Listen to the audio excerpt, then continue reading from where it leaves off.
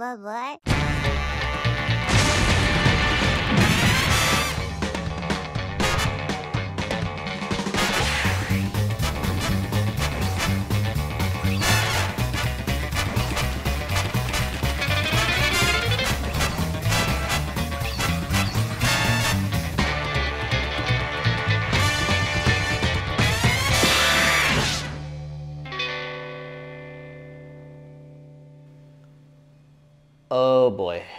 Grabbed the wrong sugar again.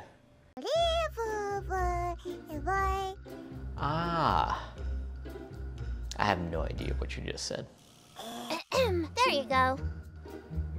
Is that what you sound like? What? Can't all sound like Ryan Reynolds. And besides, I'm not even real. I'm just a crazy manifestation of your thoughts.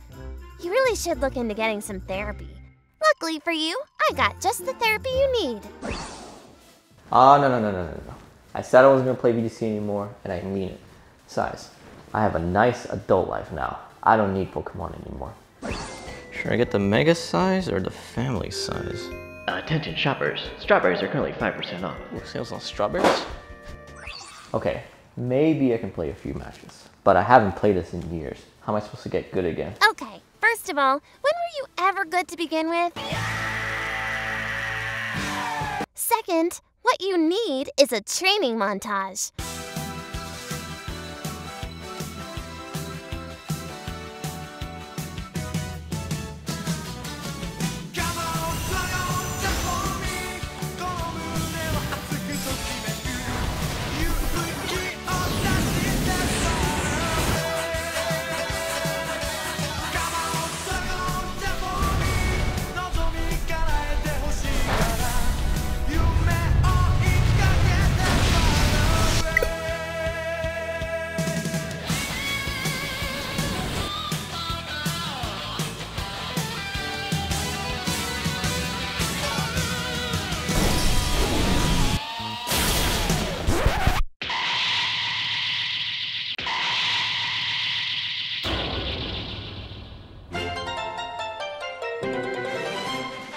Okay, let's break this down. The chance of Precipice Blades to double crit is 0.00125%, once you factor in the chance to miss. Most normal people would check this as bad luck and move on. But when you play enough VGC, this is a normal reaction. It's okay. You're bound to get unlucky sometimes, but it's not like you can get unlucky all the time, right? One hour later. Two hours later. So much later, the old narrator got tired of waiting and he died. Uh, maybe we should take a break? I knew it. I knew I shouldn't have played this again. I'm just not good enough. Sure, I've top cut a few events here and there and done well sometimes, but what's the point? I'm just never gonna be good enough to be the very best, to be number one. And it really, really sucks. Hey, I want you to take a look at this.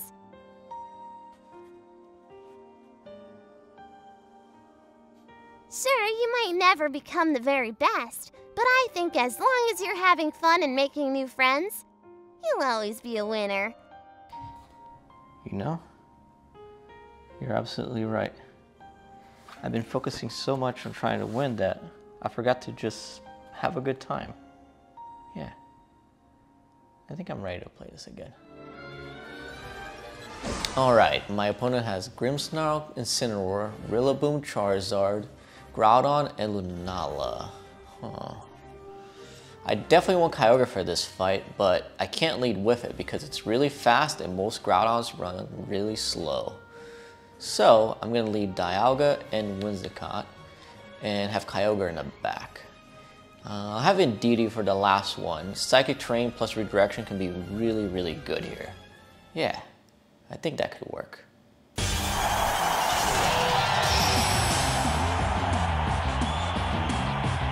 The crowd's excitement is building over this hot battle. I couldn't have said it better myself, Frank. The stakes couldn't be any lower.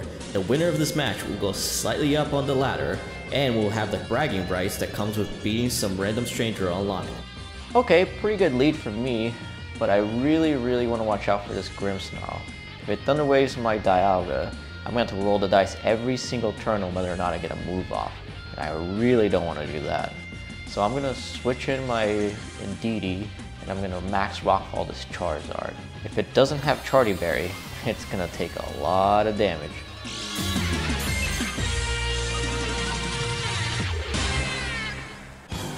This is a fight between two different types of Pokemon. It's a head-on collision of power versus power. That's right, Frank. Both Charizard and Dialga will Dynamax right away, so we can expect some heavy blows to be traded. Ooh, this light screen will greatly reduce the special damage that this Dialga can do. And here comes the Max Airstream! Whoa, that's tough. But not as tough as this Max Rockfall, which is gonna do a lot, uh, uh, some damage to this Charizard. Wow, that's an effective hit. Neither Pokemon is backing down. He has seen that I have Max Rockfall, so it's very likely that he protects this Charizard. So I could read into that and go for a Max Steel Spike into that Grimmsnarl. But do I really want to remove the Grimmsnarl? I mean, Psychic Terrain is up, so it's not really going to do much. But if he does protect and gets Spirit Break off into my DD, he might be able to do enough damage to knock it out, or at least allow Charizard to knock it out the next turn. What to do? Maybe I just max Steel Spike. The defense boost would be pretty good. You're running out of what? time, dude. Oh sh! And here comes the G-Max Wildfire. It's gonna do a lot of damage to this Indeedee, but more importantly, setting up this residual damage for the next four turns. But here comes the Max Steel Spike. Oh, it was casually cast aside. You're right, Frank. I haven't seen this much damage since my divorce. And you know what rhymes with divorce? Expanding force. And it's down. Alright, pretty good turn, all things considered. But I definitely want to bring Whimsicott here. I need to get the speed on my side.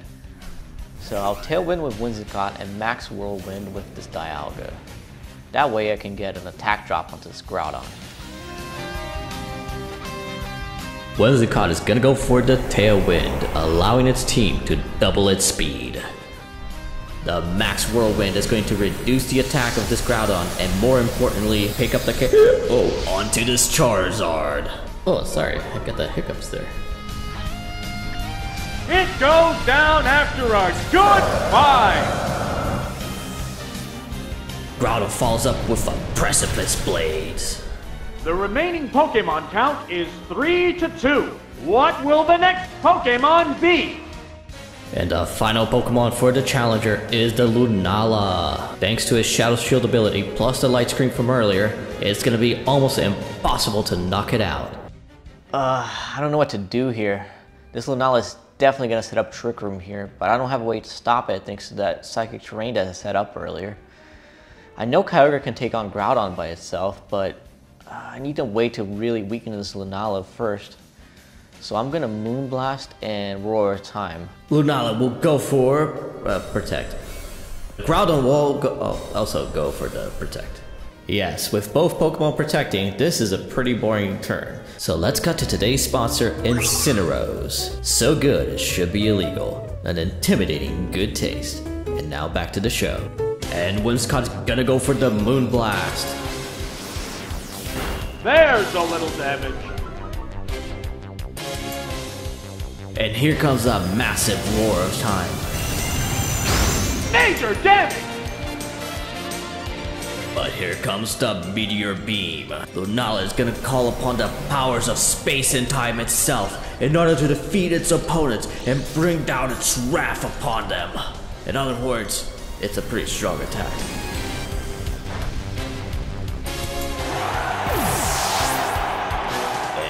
And the Precipice Blades. It's gonna knock out this di- Whoa! With that attack.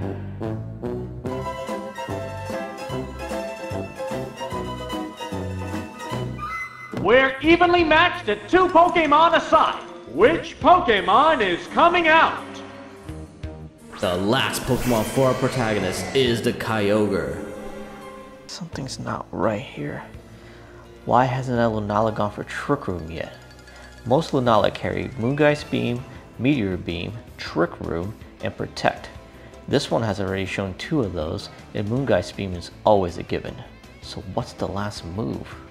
If it does have Wide Guard, I could go with Ice Beam with Kyogre in order to avoid it, but because of that Light Screen earlier from Grimmsnarl, I still wouldn't be able to knock it out. Uh, even if it has Wide Guard, I still have to risk it and go for the Origin Pulse. That's my only hope. And the opponent yet again protects with both Pokemon, trying to stall out the Tailwind from the protagonist. Can this Groudon and this Lunala outspeed the Kyogre and Dialga? I guess we'll find out soon enough. Ooh, and Lunala reveals the Wide Guard. This will prevent any spread moves from hitting that side of the field. It's up to Dialga to take down this Lunala. Can it hit the Roar of Time? Wow! Going down! Wow! They're down! They're both down!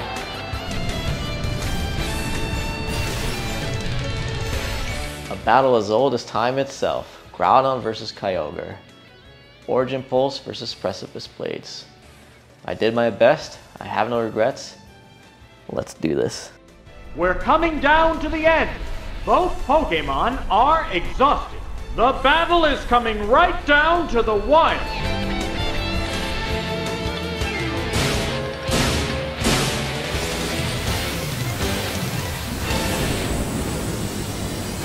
Gone! It didn't stand a chance! And there goes the battle! Feel better now? Yeah. And you know what? I learned something today. I learned that I should believe in myself a little bit more. And that it's okay for me not to win all the time. Nobody does.